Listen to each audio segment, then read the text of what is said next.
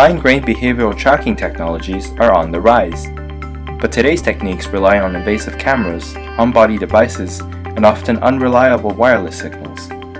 We present Starlight, a system that tracks real-time user positions using purely visible light. By aggregating light blockage information from LED panels on the ceiling through a very small number of light sensors, Starlight renders a user's 3D skeletal posture in real time, supporting fine-grained tracking in almost any indoor environment. To overcome the problem of furniture blockage, it optimizes light sensor locations to gather the maximal amount of blockage data.